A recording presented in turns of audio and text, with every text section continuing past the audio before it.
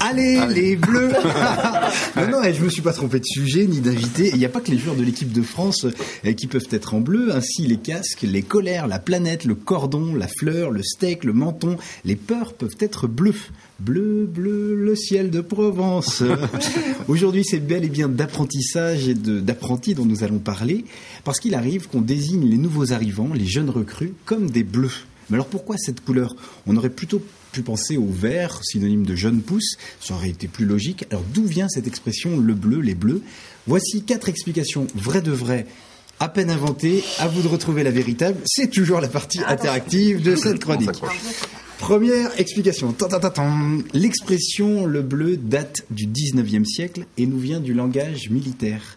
En fait, les, jeunes soldats étaient souvent d'origine populaire et quand ils arrivaient à la caserne, ils étaient majoritairement vêtus d'une blouse bleue, d'où les bleus.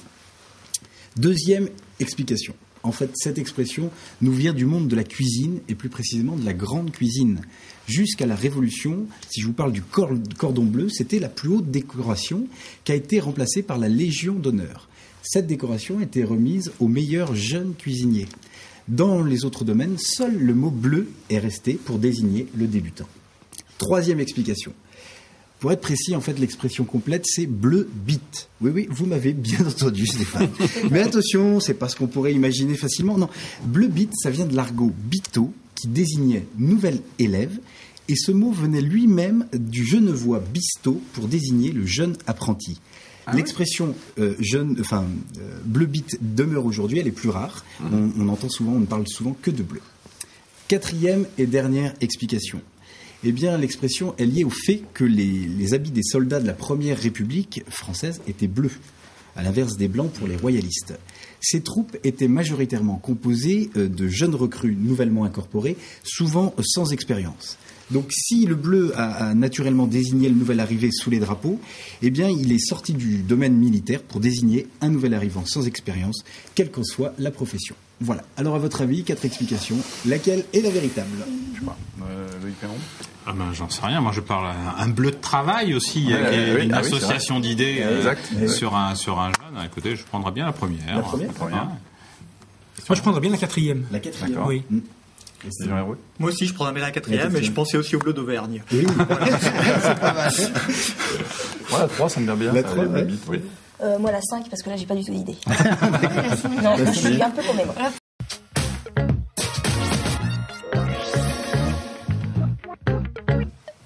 La grande émission, euh, la suite, avec donc la réponse de Jérôme Omino. J'ai Alors, envie, les bleus. j'ai envie de dire les réponses. Les réponses. En Ah, vous fait, avez fait un il y en mix a deux. encore. Il y en a, ouais, il y en a deux. Il y a dur. effectivement l'origine euh, bleu bit avec euh, l'expression genevoise, et puis euh, les soldats de la Première République qui étaient euh, souvent des, Donc la des- des- quatrième. voilà Donc la, quatrième et la troisième et la quatrième. Voilà. L'apprenti est un artisan, un artiste en devenir. Je dirais même, l'apprenti est un danseur, un spécialiste du pas de deux.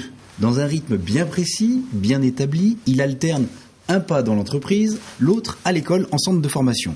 Un, deux, et un, deux, et un, deux, et on change de cavalier.